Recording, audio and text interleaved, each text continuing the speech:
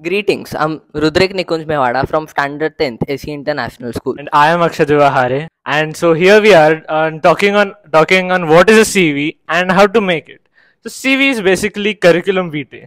It's a detailed and detailed uh, document about yourself which you give to companies so they uh, look at your achievements, skills, and what uh, about yourself.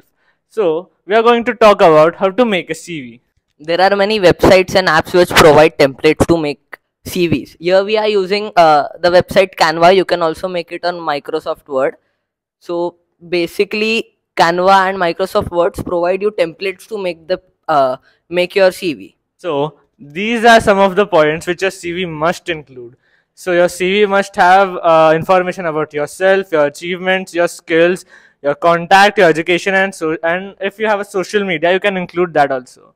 So we are going to give you a detailed uh, instructions on how to make a CV.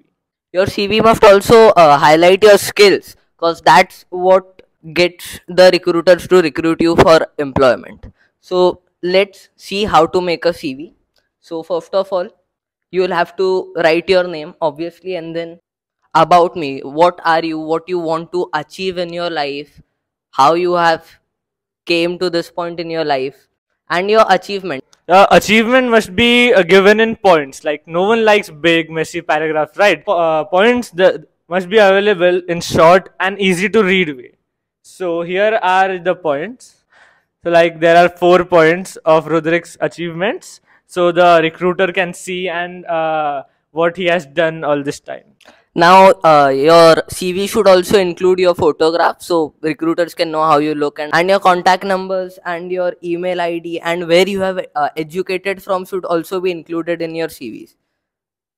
And then if you have a social media, it is very best to include a social media. Here we have not include hobbies, but you can include hobbies too of your own. That would be a very great thing to add in your CV as recruiters could judge you upon your hobbies. So these are the very basic things a CV must have.